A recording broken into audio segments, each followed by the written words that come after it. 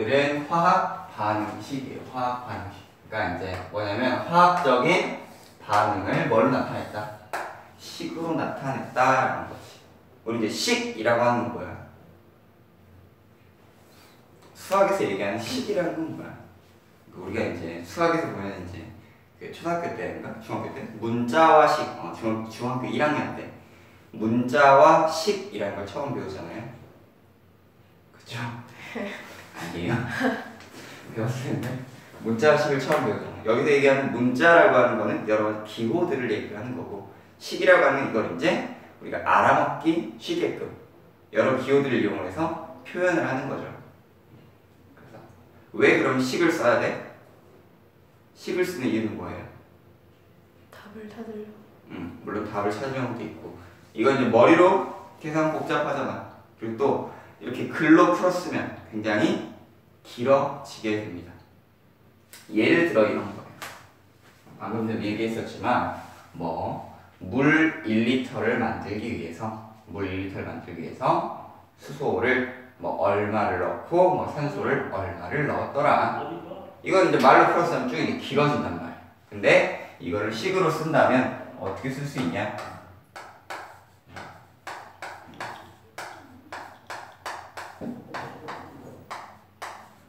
그냥 이렇게 써버리면 간단하게 표현이 되더라라는 거죠. 이건 이제 말로 풀었어. 자, 수소기체 두 분자와 산소기체 한 분자를 반응을 시켰더니 화학반응 시켜서 물 분자 두 개를 만들었더라. 라고 길어지잖아요. 그냥 쭉 쓰면 간단하죠. 그리고 굉장히 간편하잖아요. 그래서 이걸 쓰는 거지. 단, 우리가 이렇게 쓰기 위해서 알아야 될 건 뭐예요? 이렇게 쓰기 위해서 반드시 알아야 될 건 뭐예요? 내가 이게 무슨 뜻인지는 알아야 되겠죠. 그래서 화학 반응식을 우리가 쓰기 위해서는 화학 반응식 쓰기 위해서는 기본적으로 뭘 알아야 돼? 화학식이라는 게 뭔지 알아야죠. 화학식. 화학식은 뭐야? 물질을 간단한 기호와 정수를 이용해서 나타낸 거죠. 자, 우리나라에서는 물이 있어, 물. 우리나라는 물이 있어요, 물. 우리가 물이라고 하면은 민생이 뭘 떠올릴 수 있어요? 물이라면 뭐가 떠오르나요? 마시는 물. 마시는 물이 떠오르죠. 외국 사람들은 이렇게 써놓으면 뭘 생각을 할까?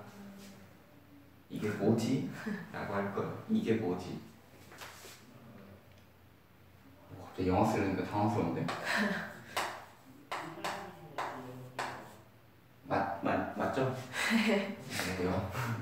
나 영어 쓸때 당황스러워하지? 뭐예요? Water. 이것도 의미하는 거야. 물. 물이죠. 근데 우리가 이게 물이라는 걸 알고 있는 건 뭐야? 우리가 이걸 배웠잖아요. 습득을 한 결과지. 근데 내가 이걸 웬 생전 처음 봤어. 생전 처음 봤어. 그러면 이게 대체 뭐지? 라고 궁금증을 가질 거란 말이죠. 민생이가 예를 들어서 어, 이제 좀 있으면 여름방학이죠. 돼서 어디를 갔냐? 아프리카에 갔어. 아프리카. 아프리카를 갔다고 합시다. 막 이 가이드를 따라서 여행을 하던 중에 가이드를 따라서 여행을 하던 중에 가이드가 갑자기 민승을 떼놓고 가버린 거야. 민승이 이제 먹을 거 하나도 없는데 길을 터벅터벅 걸으니까 저 옆에는 코뿔소 무리가 지나가고 코끼리도 지나가고 사자도 민승이 딱 힐끔 보고 지나가고 무섭잖아요. 목도 마르고 춥고 배고프고 이런 찰나에 지나가던 원주민들을 만났어요. 지나가던 원주민들을 만났습니다. 아프리카의 원주민들을 만나서 이 원주민들한테 이제 나 목이 마르니까 물 좀 주세요 라고 얘기를 하고 싶어. 그럼 인생 뭐라고 얘기할 거예요? 물 주세요 할 건가요? 그러면 water please 이럴 건가요? 영어를 알 수도 있죠. 그럼 뭐라고 얘기해야 돼? 바디랭귀를 이용해서 막 해야 될 거란 말이야. 근데 거기 원주민들은 되게 똑똑한 원주민들이야. 뭘 배웠냐면 뭘 배웠냐면 기본적인 과학적인 지식이 풍부한 원주민이었어. 그래서 민승이가 물 주세요의 그 원주민들이 갸우뚱갸우뚱 하는 거야. 알아먹지 못하는 거지. 근데 민승이가 이제 이렇게 이제 종이를 하나 달라 그래가지고 종이 달라고 말을 해야 되는데 아무튼 품 속에 마침 종이랑 펜이 있었어. 그래가지고 종에다가 뭘 썼느냐? 종에다 뭘 썼느냐? 이 날벌레 뭐지? 헐. 헐. 도망갔어. 여기 딱 쓴 거야. 딱 썼어. 이게 뭐예요? 물이요. H2O. 하나 있어. 물을 얘기하는 거야. 여기 L은 뭘까? 액체. 어, 그렇죠. 액체 상태를 얘기합니다. 원주민 때 이걸 보더니 아, 아 그래가지고 옆에 이제 시켜가지고 이 물을 떠오르고 시킨 거야. 미생한테 준 거지. 그러면 내가 이걸 알고 있으면 서로 뭐가 된다? 의사 소통이 되더라라는 거지. 우리가 수학에서도 문자와 식을 배우는 건 이건 뭐야? 약속이에요, 약속. 우리가 이렇게 사용하도록 하자. 플러스라고 요걸 쓰면 이건 뭐다? 더하는 거다. 마이너스를 써주면 이건 빼는 거다. 이건 곱해주는 거고 이건 나눠주는 거다. 라고 우리가 이제 배우잖아요. 이런 기호들을 사용을 하죠. 마찬가지로 우리가 화학 반응식을 쓰기 위해서 이렇게 물질을 간단하게 표현하기 위해서는 반드시 뭘 알아야 돼? 기본적인 우리의 약속을 알아야죠. 그 약속이 뭐냐? 바로 우리가 원소 기호를 아는 거죠. 그래서 우리가 원소 기호를 익혔잖아요. 원소 기호를 익혔고 그리고 이러한 원소 기호들과 더불어서 몇 가지 이제 간단한 연산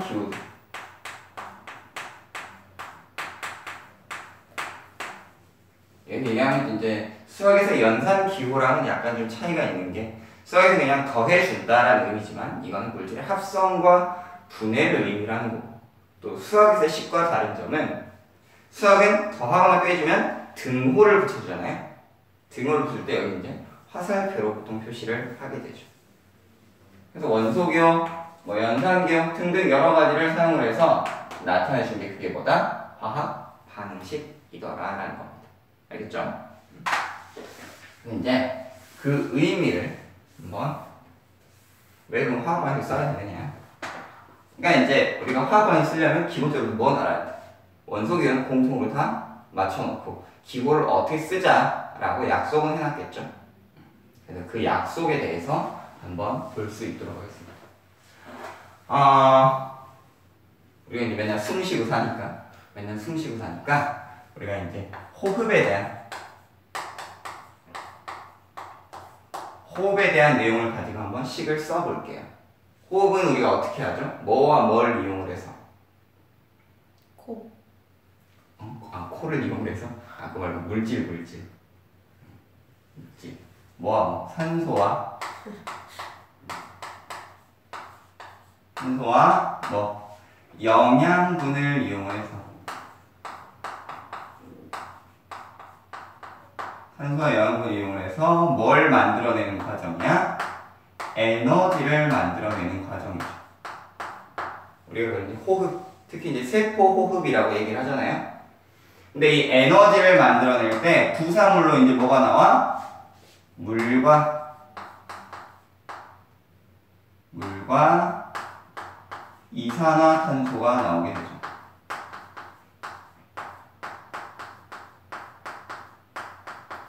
이렇게 나오게 되잖아요. 물과 이산화탄소가 발생을 하더라. 라는 건데, 자, 그럼 이거를 길게 풀어 쓰자면, 우리말로 얘기하자면, 산소와 영양분을 합성을 시키면 에너지가 발생을 하는데, 거기에서 부산물로 물과 이산화탄소가 나옵니다. 라고 쭉 이렇게 풀어 쓸 수가 있어요. 근데 우리가 이제 문장을 딱 썼어. 미국에서 주면 이게 뭔 말인지 도통 모르잖아요. 그래서 우리는 또 다른 약속. 이걸 화학의 언어라고 하는데, 화학의 언어. 약속이죠. 언어라는 건 약속이니까. 의사소통을 하기 위해서. 뜻을 교환을 하기 위해서 필요한 거니까. 음. 그래서, 자, 미국인도 알아먹고, 독일인도 알아먹고, 저기 아프리카 원주민들도 알아먹을 수 있도록 한 게, 그게 화학 반응식이죠. 그러면, 화학 반응식은 어떻게 작성을 해야 되느냐? 자, 첫 번째는 얘들을 뭘로 나타내줘야겠어? 원소기. 그렇지. 서로 알아볼 수 있도록 원소 기호와 정수를 표현해 주는 거야. 산소. 자, O2. 그 다음에 또 뭐가 있냐면 영양분이 있잖아요.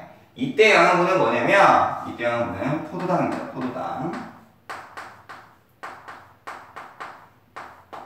포도당의 화학식은 모르죠. 이제 알게 될 거예요. 자 이렇게 돼요.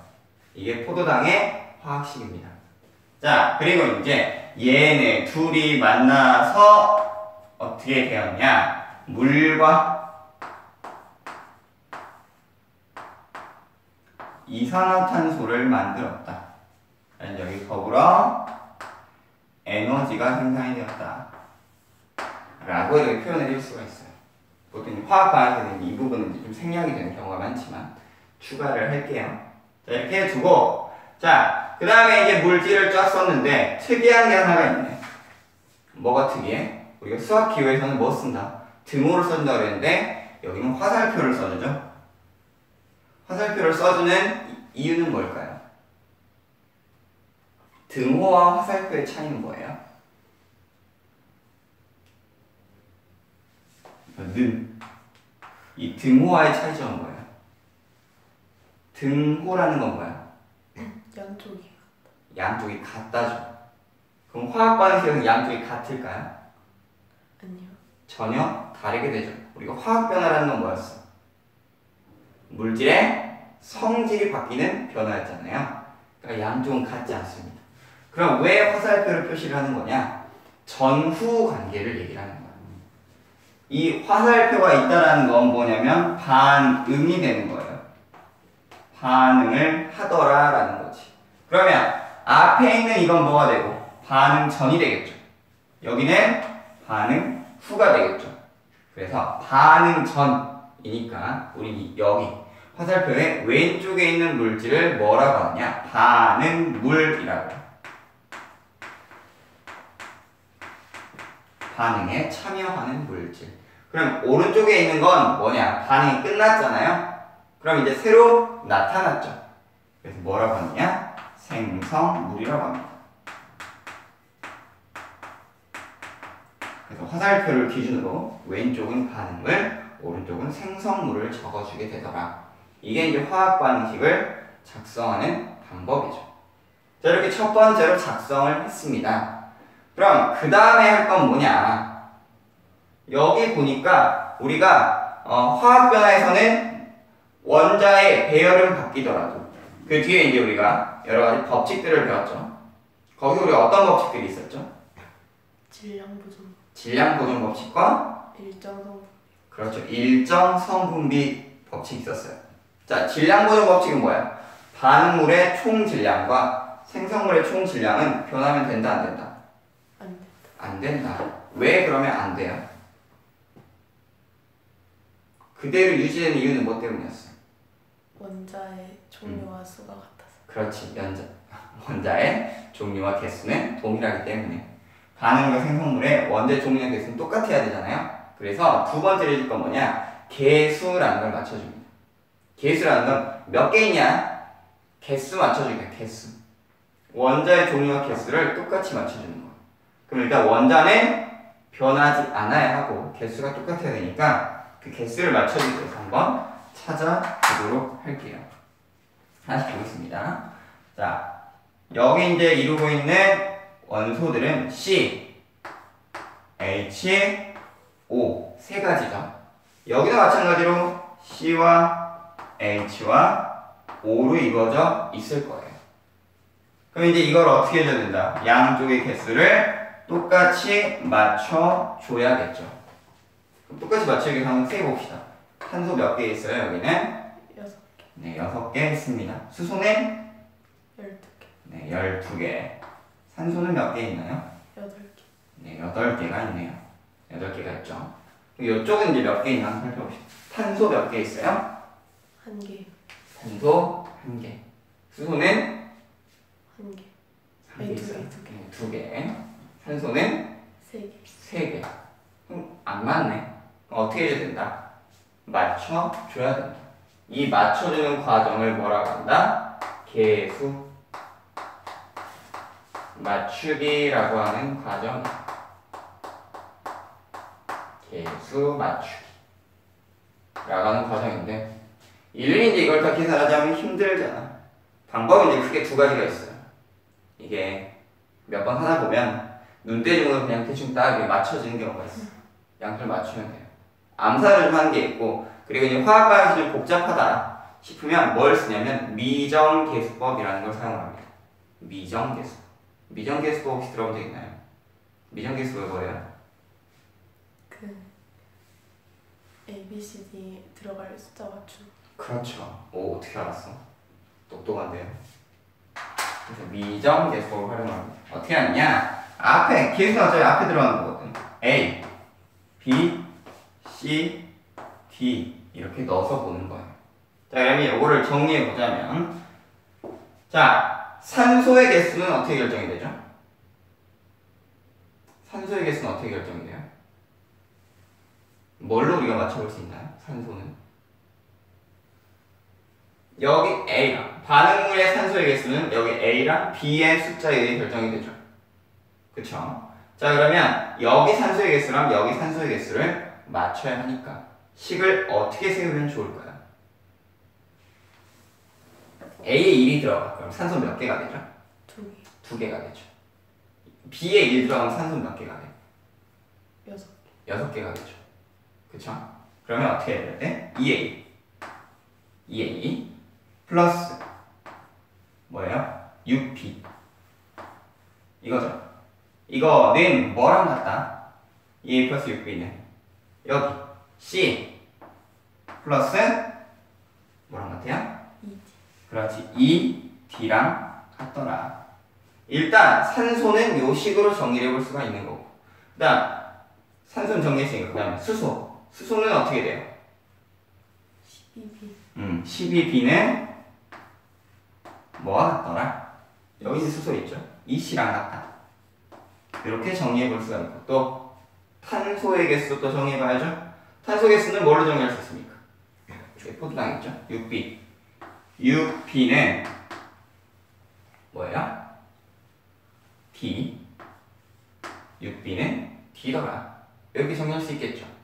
그래서 아, 세 가지의 식을 우리가 뽑아냈네요. 그럼 이거 뭐 된다? 연립을 해주면 되더라.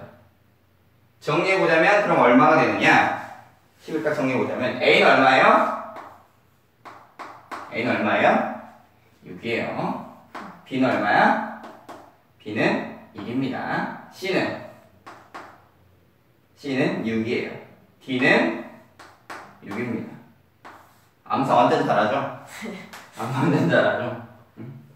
넣으면 되지 이제 한번 넣어봅시다 6b는 D였잖아 그럼 B 1이었으니까 맞죠?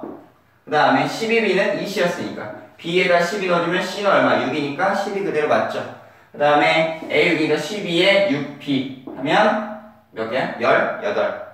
그 다음에 C 6에 2BT 6, 10이니까 18 맞네요 암사 완전 잘하죠? 이게 하도 많이 쓰다 보니까 식이 저절로 머릿속에 들어갔어요. 몇 번 하다 보면 금방 익숙해질 거예요. 광합성식, 호흡식, 그리고 이제 뒤에 이제 여러 가지 식들을 배울 텐데 뭐 탄화수의 완전 연소식이라거나 몇 개의 그 화학 방식들이 있어요. 아마 민승이가 중학교, 고등학교 지나치면서 지나가면서 외우기 싫어도 저절로 머릿속에 들어갈 거예요. 나중에 화학하면 화학하면 그런 게 있어. 그 금속의 반응성을 비교하는 그런 게 있는데 뭐 칼카나마, 아라철리스나 수구수은, 백금 이런 거 있거든요. 지금은 뭔지 모르겠죠. 나중 가면 어느 날 갑자기 막 민승이가 어른이 돼서 직장 생활하다 갑자기 딱 떠올라. 칼카나마, 아라철리스나 수구수, 백금 딱 떠올라. 벌써 이제 학생 시절이 한참 지나간 뒤에 갑자기 어느 순간 딱 떠오르는 거지. 머릿속에 각인될 정도로 외우기 때문에 저절로 이제 외워질 거예요. 그래서 자, 이제 개수를 맞췄습니다. 그럼 개수 맞추면 끝났네요. 끝났죠? 그럼 끝 아니야? 끝 아닌가요? 마지막 4단계가 남았어요. 마지막 4단계. 4단계는 뭐냐? 마지막으로 해줄까? 자, 플러스 알파.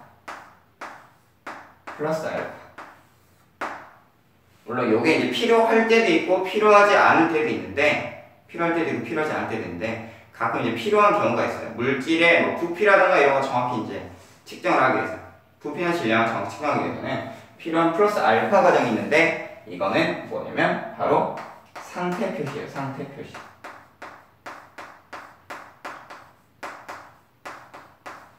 상태 표시를 해줍니다. 자, 그럼 물질의 상태를 어떻게 표시하느냐? 상태는 총 네 가지가 있어요. 우리 물질의 상태는 뭐 있죠?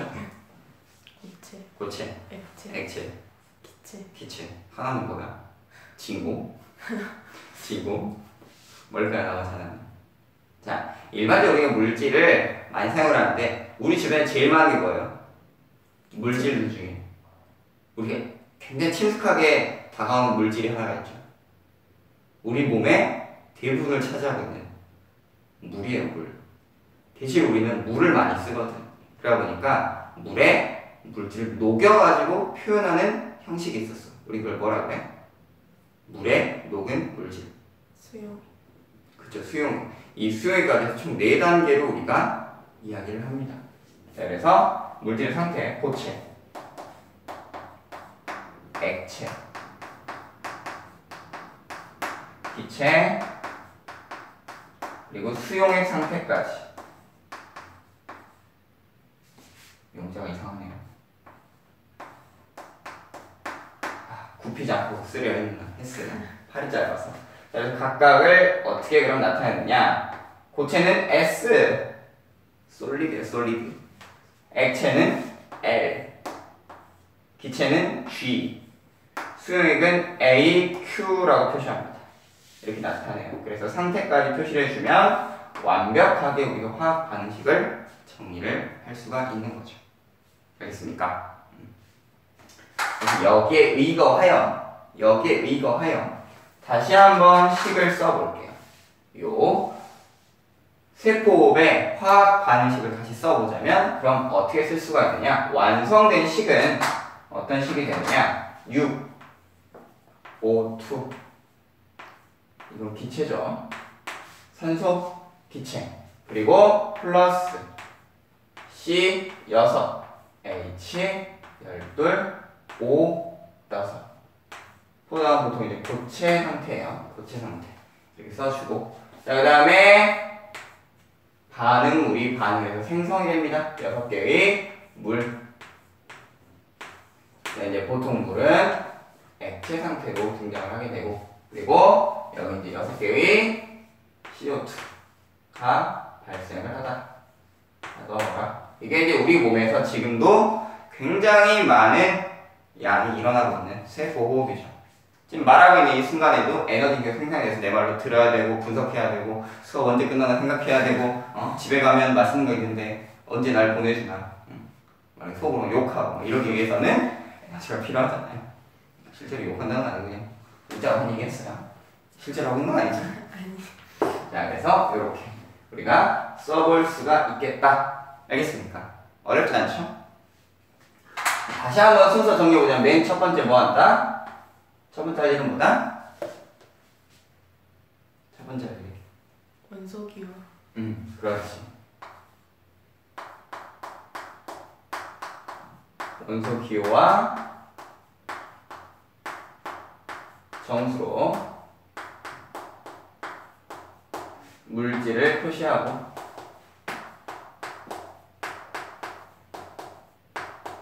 또 하나일 거 반응물과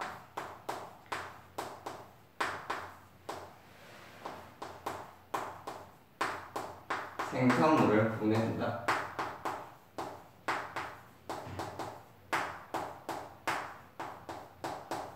보통 이제 그냥 하나를 쓸 때도 있고 두 개, 가- 두 개를 나눠 쓸 때도 있어요.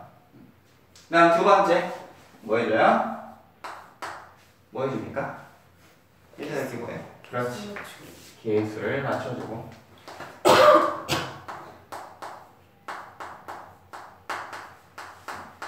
개수를 맞춰주시고. 그 다음 세 번째, 뭐 해준다? 질의 상태를 표시해주더라.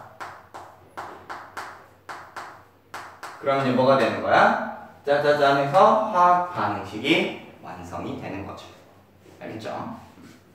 자, 그러면 우리가 이제 하나 배워봤으니까 연습 삼아 하나 해보도록 하겠습니다. 연습 삼아서 한번 해보도록 할게요. 음. 자, 뷰테인.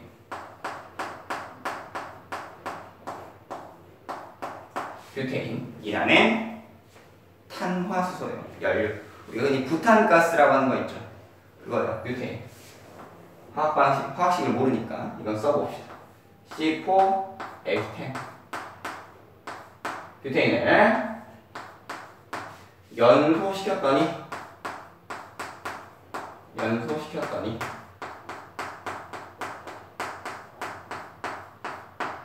연소시켰더니 뭐가 발생을 했느냐? 물과 물과 이산화탄소가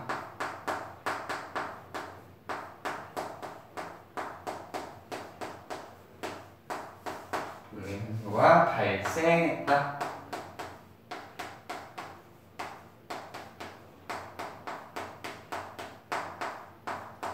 정확히 하자면 이 연소도 어떤 연소가 되냐면 완전 돼요. 완전 연소라는 건 뷰테인이 산소와 충분히 반응을 해서 물, 생성물을 만들어내는 거예요. 불완전 연소는 충분히 반응하지 못해서 이산화탄소가 아니라 뭐 그름이나 일산화탄소가 발생하는 반응이에요. 그렇게 되면 좀 식이 좀 복잡해지거든요. 그래서 반드시 이제 완전 연소를 시켜줘야 돼. 알겠죠? 아, 그래서 우리가 이런 식을 하나, 식이 아니라 이런 문제를 하나 발견을 했어. 자, 그럼 이제 첫 번째 할 일은 뭐야? 원소기호와 정수로 물질을 표시하고 반응물 생성물을 구분을 해야 되잖아. 그럼 여기서 지금 반응물은 뭐예요? 반응. 산소. 그렇지. 반응물은 뷰테인과 산소죠. 그래서 반응물. 반응물은 자, 뷰테인과 산소고. 그다음에 생성물은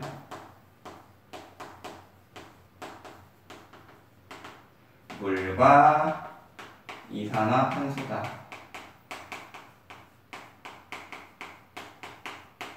자, 이렇게 되고 그 다음에 이제 반응물 생성을 구분했으니까 원소기호로 나타내야겠죠. 이걸 화학식으로 나타냅니다. 그럼 뷰테인의 화학식 어떻게 돼요? C4H10. 아, 그렇지 C4H10 해주고 플러스 산소 계수 써야 되니까 O2 그 다음에 이제 반응이 일어났어요. 그리고 생성물 물과 플러스 CO2가 발생을 했더라. 이제 우리가 이렇게 표시를 해줄 수가 있는 거죠. 자, 표시를 해주고 나서 그 다음 해줄 건 뭐야? 계수를 맞춰줘야죠. 네, 계수를 맞춰야 되는데, 자, 그럼 한번 봅시다. 자, 뭘로 하는 게 편하겠어요? 미정계수법을 써볼까요? 한번 써봅시다. 그러면. 미정계수법으로 한번 해볼게요. 자, A, B, C, D 해보면 자 어떻게 정리가 되느냐 여기 이제 탄소 여기 있고 탄소 여기 있잖아 탄소부터 해봅시다 그러면 4A는 얼마예요? D 하나 나오죠? 4A는 D다 라는 걸알수 있고 그 다음에 어, 수소 해볼게요 수소 수소는 얼마야? 10A는 2C죠? 이렇게 되는 거 하나 나왔고 그 다음에 또 이제 산소 해줘요 산소. 산소가 어떻게 돼요? 2B는 C 플러스 2B 이렇게 세 개의 식을 우리가 찾아줄 수가 있습니다. 자 그리고 나서 이제 미정계수법을 쓸 때는 뭘 해줘야 돼? 수를 대입을 하는 게 제일 빨라요. 수를 대입을 해보겠습니다. 자 대입을 해보자 자, 대입을 해보면은 어떻게 되냐. A 다음에 1을 넣어볼게요. A는 1이라면, N이 1이라면, B는, D는 얼마가 돼요? 4. D는 4가 되겠고. A가 1이니까. 그럼 C는 얼마가 돼요? 5. 5. 자, 그 다음에 여기 이제 D4, C, 5였으니까. 자, D4. 그럼 4 플러스 2D 하면 얼마예요? 10이죠. 어, 어, D. 어. 뭐지? C가 5죠. 5 플러스 2B니까 8이죠. 얼마나? 2B는 13이 되지. 따라서 B는 얼마가 돼? 2분의 14 2분의 13이 됐는데 이런 거 나올 수 있어 없어? 없어 없어요. 그럼 틀렸네. 할 게 아니라 어떻게 하느냐? 어떻게 하느냐? 이럴 때는 이렇게 해주세요. 자, 하는 법을 알려줄게. A에다 2를 넣어요. A에다 1 넣습니다. 그 다음에 B에 얼마 들어가면 되겠어요? 2분의 13을 넣어주는 거예요. C에는 얼마 들어갔죠? 5 들어갔죠? 그쵸? D에는 4 들어갔잖아요. 그러면 이게 이제 다 정수 B로 정리가 돼야 되니까 어떻게 해주느냐? 다 두 배를 만들어줘. 양을 다 두 배로 뻥튀기를 시킵니다.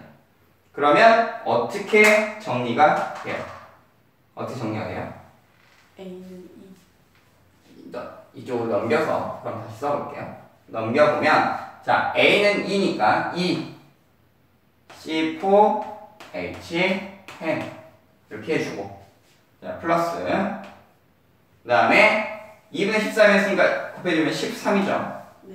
13 O2 자 이렇게 좀더 뒤쪽으로. 그 다음에 5였으니까 10 H2O 플러스 마지막 뭐예요? CO2 4니까 8이죠? 8 CO2 이렇게 해줍니다. 이렇게 하면 깔끔하게 정수비가 맞아 떨어지더라라는 거지. 자그 다음에 이제 마지막 해줄 거. 마지막 해줄 거. 상태. 상태 표시 해주면 되죠. 상태 표시인데, 자, 뷰테인 같은 경우는 상온에서 어떤 상태? 기체. 그렇죠. 기체 상태니까 G. 해주고, 산소는 당연히 기체 이렇게 해주고, 그 다음 얘는 기체 액체죠, 액체. 액체 상태. CO2는 기체 기체 상태다. 라고 이렇게 표현을 해줄 수가 있는 거죠. 간단하죠? 어려울 게 한 개도 없어. 한 개도 없는 게 화학 반응식입니다. 알겠죠? 네 자, 이제 책에 나와 있는 거 한번 몇 가지 해 볼 수 있도록 합시다. 몇 가지 한번 해볼 수 있도록 합시다.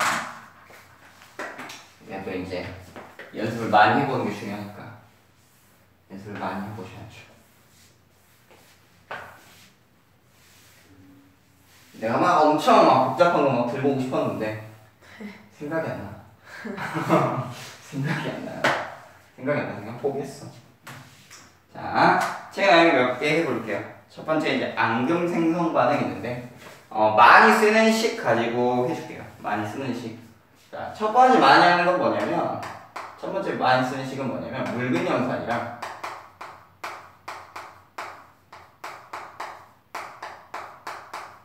묽은 염산이랑 탄산칼슘.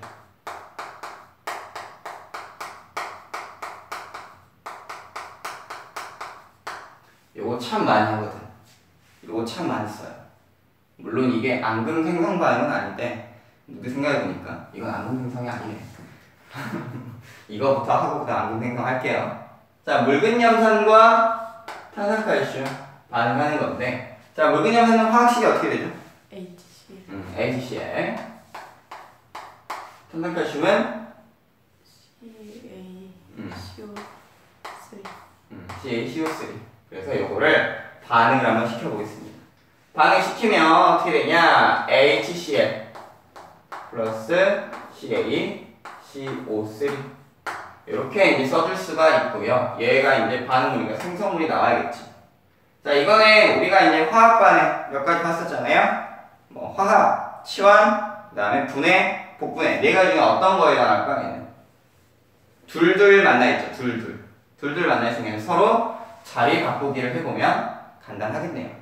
자, 이렇게 이거 간단한데, 자, 그 전에 이제 중2 때 배웠던 거 잠깐 하나 살펴봅시다. 중2 때 배웠던 거. 이온. 수소는 양이온, 음이온? 양이온 양이온. 어떤 양이온? 일가 일가 양이온.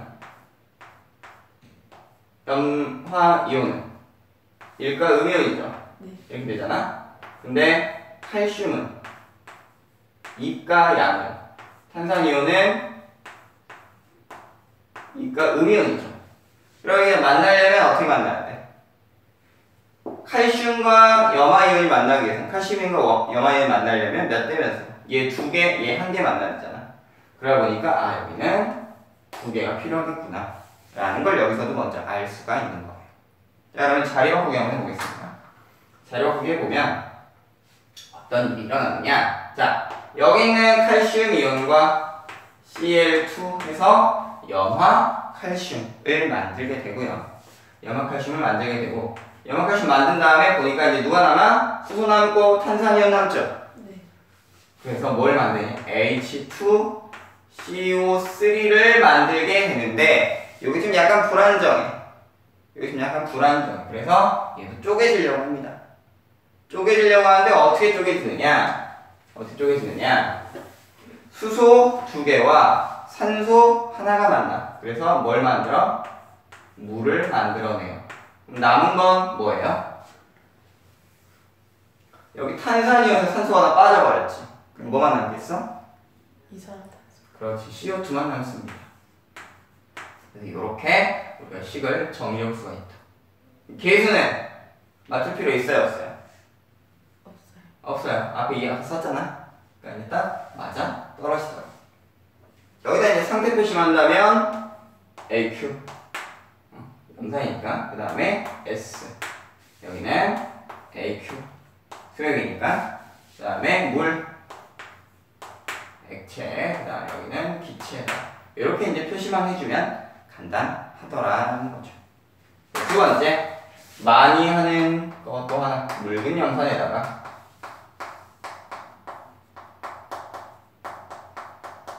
뭘 넣어주냐? 마그네슘 쪽.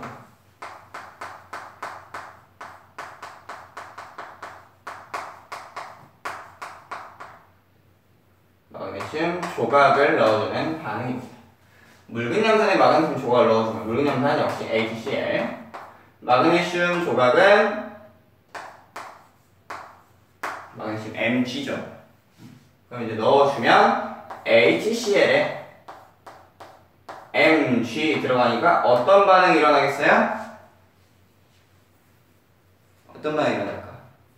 물론 화학 반응이 일어나겠지. 그러니까 이제 치환 반응이 일어납니다. 마그네슘이 누구 자리를 뺐느냐? 수소 자리를 빼앗아 버려요. 마그네슘 수소 자리를 빼앗아 버리는데 마그네슘이 이가 양이온이고 얘가 일가 양이온이잖아요. 네. 이제 전자를 주면서 들어가는데 아무래도 개수가 두 개가 있어야 마그네슘이 원활하게 들어갈 수가 있더라라는 거지. 그래서 어떻게 됐냐? Mg 만나면 CA 몇 개예요?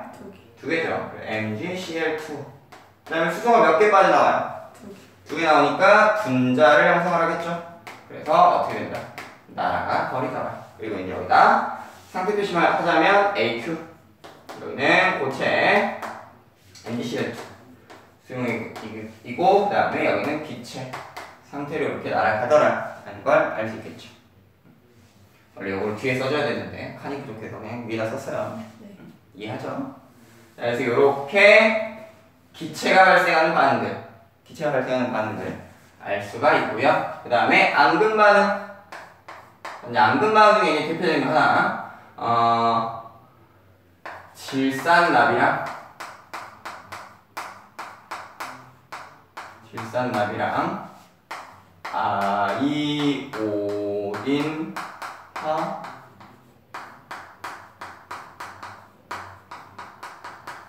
질산납과 아이오딘화 칼륨 뭐 이런 거. 그럼 질산납은 화학식이 어떻게 돼? PB PB. N3 왜 이렇게 쓰는지 알죠? 응. 아이오딘과 칼륨은 K K I I죠. 어, 이렇게 됩니다.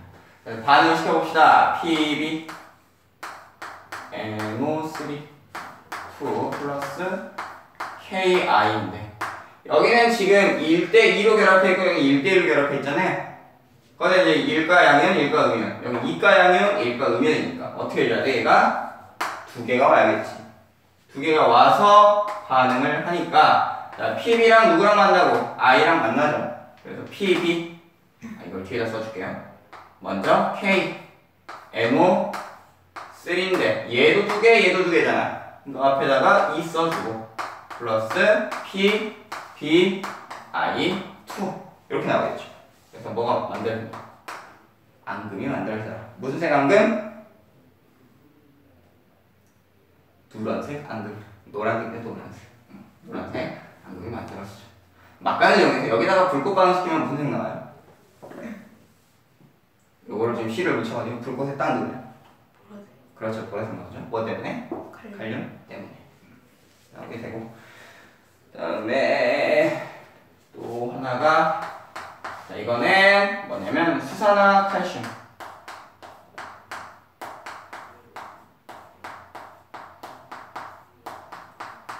다른 이름으로는 뭐라고 하냐면 석회수라고 해요 석회수 이제 어떤 말이냐면 우리 그 석회수에다가 입김 불어넣으면 뿌옇게 흐려진다 뭐 이상해서 검출하는 반응이잖아요 이제 그 반응 왜 그럼 뿌옇게 흐려지냐 앙금이 생기거든요 뭐냐면 이산화탄소가 만날